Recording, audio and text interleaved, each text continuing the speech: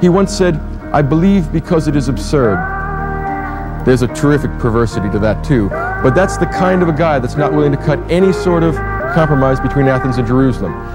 Biblical belief comes first, and it is exclusive of all other beliefs. The Lord thy God is a jealous God. Thou shalt not have strange gods before me. The idol of reason is a strange God.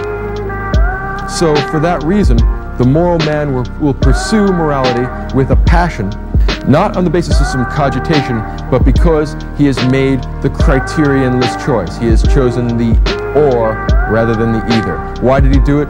There's nothing to say. This is what he's chosen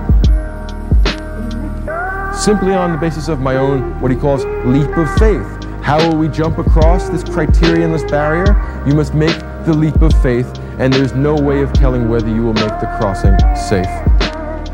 This is the best that human life has to offer. The simple, primary commitment to righteousness, independent of pleasure, independent of rationality, independent of any possible alternative.